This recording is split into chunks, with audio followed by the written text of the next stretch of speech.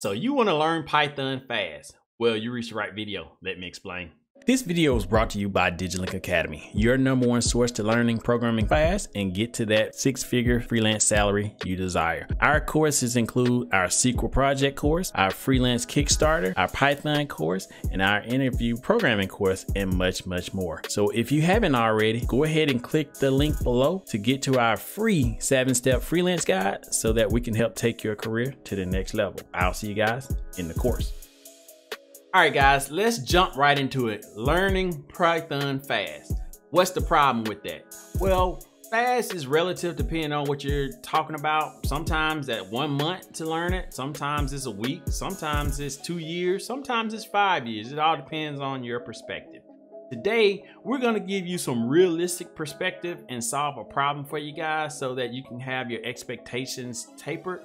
So I'm coming at this at an aspect of, hey, you kind of know um, the fundamentals of programming and you've maybe taken a course or two, but you seem to can't get a job or you don't, you're not confident in your programming level. And we're to try to get you a job within maybe, you know, three months, six months to a year. I think that's a relative uh, a good expectation if you already have at least a coding base. If coding brand new to you, this is the first video you ever seen coding, well, we gotta adjust those expectations more unless you're a rock star and you're just able to learn and pick up on things faster. But I'm gonna cover all that in this video and kind of get you guys learning Python real fast. But before we get started, what I want you guys to do is please share your experience learning Python. How, what are some of your roadblocks you've been having? What are some of the successes? What have been your challenges to learning Python fast? Can you find a job? Just share that below because I love to see your guys' response and then how your response is different once you guys uh, view this video and then we kind of go from there. So at the end of the day, guys, to learn Python fast, start with the fundamentals and the syntax. Start there first. Hey, learning arrays, learning the, how to write code, just the basics, all that good stuff. Fundamentals, guys. Just start there. You want to be able to read code and see what it's actually doing and that's a good way to under, know if you are are good at your fundamentals. You can, within relative speaking, you not might not know everything that's going on in that line of code, but you can kind of decipher things, do a Google search, all that good stuff. So start with the syntax and fundamentals. That's the first takeaway. Second takeaway, project-based learning, guys. I can't emphasize this enough. If you're not doing project-based learning, you're not doing yourself a, uh, you're doing yourself a disservice, guys end of the day, if you ain't completing projects, you are not putting yourself in a position to win. Um, you're just gonna be a code writing junkie. When I what do I mean by that? Is you write code that doesn't have any impact, that don't solve any problems. You need to start the project-based learning to get to that next step, guys. And then the final step is once you start doing the training project-based learning, we want to transition that to real world projects real world industry, real world business. This is where you're going to look at the job markets and postings and um, your local job market to kind of figure out, hey, these people, they have this problem. Let me see if I can um, have a project that's similar to what they're doing to solve that problem. So when I come in for that interview, I'm great.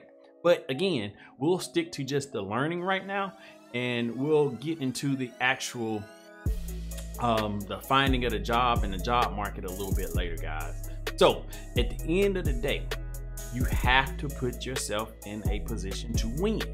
And the best way to do that is to learn, okay, what's the best use case for Python? Go. I like Python because it's quick, easy to learn, get started fast with a lot less relative setup on your computer than other programming languages also, you know, you can use it in data science. You can use it in certain applications, and it, it very quick, very agile, very easy to learn. So it always had that. I think it's probably one of the best. Um, you know, in, in addition to uh, PHP, I think um, to actually start using as a first program. It's, it's very going to help you learn really quickly. Kind of start with the takeaways. Uh, at the end of the day, When I first learned, start learning how to program, guys, I was lost, didn't know what to do, didn't know where to go. I am a SQL developer by trade, as far as just where I do a lot of my work at. But again, the database got to function with the application. So you got to be able to pull, retrieve, view data with that Python code. So it kind of, I had to learn Python in conjunction with it. I use a uh, program called Odoo, an open source application to learn, um, do my code reviews, all that good stuff. Again, guys, we tell you how to do this in our seven step guide. So go ahead and check out my seven step guide. Links are below, it's free, and um, it's gonna help you get started learning Python really fast. Also, we have some premium courses as well. We have a 30 day Python programming guide or programming um, course. Links below to that, guys. Go check that out. And also subscribe to the channel. Um, we cover a lot of Python related stuff as well. Help you guys out. So go ahead and do that. Support the channel. I surely appreciate it. So let's jump into uh, some additional details about Python. I like the fact that you guys have already came here and you want more answers. So that's that's a good thing. We're good there. I want to focus in your learning so that you can learn just what you need to know to get that next job, get you to that next. I know a lot of you guys you're, you're not gonna get that concept at first because you're used to I gotta learn everything before I get a job. No, don't think like that. You only need to know enough to be able to solve the first problem at your job, know how to speak to things, and if you have an agile approach to learn, once you learn the base, everything else is agile learning, stacking up on top of it. Till five, ten years from now, you have a really good specific um, knowledge about programming.